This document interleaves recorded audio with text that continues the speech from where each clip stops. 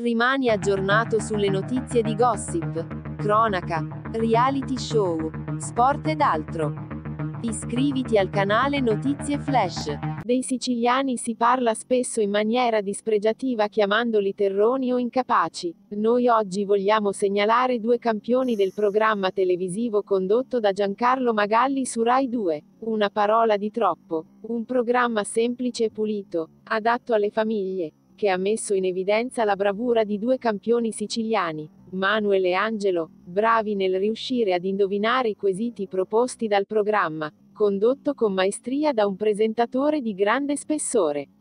Oggi hanno vinto, lunedì ci terranno ancora compagnia, non sappiamo se vinceranno, nel frattempo godiamoci un po' di sano spettacolo. Questa è la TV che vogliamo.